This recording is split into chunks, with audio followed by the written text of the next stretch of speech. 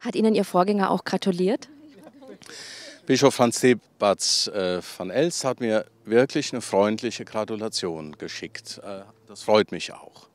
Werden Sie ihn, auch um Rat fragen, wenn es um seelsorgliche Entscheidungen für das Bistum geht? Wir müssen erst noch klären, wir kennen uns nicht gut. Äh, wir sind uns einige wenige Male kurz begegnet, wie wir denn in Kontakt miteinander treten. Das liegt ja nicht nur an mir, das muss auch der Bischof Emeritus entscheiden.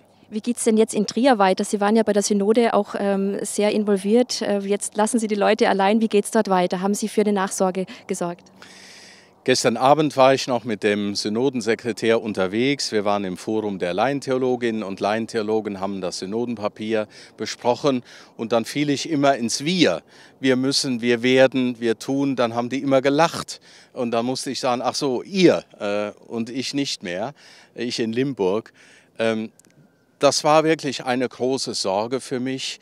Geht das hoffentlich nahtlos weiter? Und wir haben Gott sei Dank mit äh, meinem Nachfolger Ulrich Graf von Plettenberg jemand gefunden, der äh, ganz große synodale Erfahrung hat, in der Synode einen wichtigen Part spielte.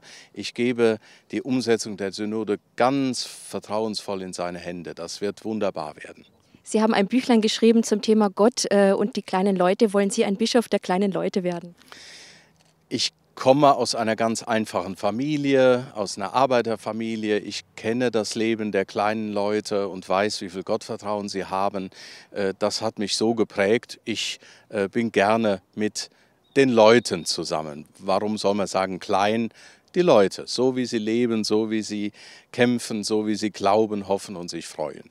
Und Sie haben viel Literatur zum Thema Gebet und Sie sind, glaube ich, ein ganz gebetsdurchwirkter Mensch. Wofür beten Sie jetzt für das Bistum Limburg? Ich bete, dass die Menschen im Bistum Limburg ihren neuen Bischof aufnehmen, dass sie ihn mit offenem Herzen aufnehmen, dass sie ihn aber auch kritisch begleiten, ihm ihre Fragen stellen und ihre Sorgen äh, offenbaren, damit ich wirklich einer von ihnen werden kann.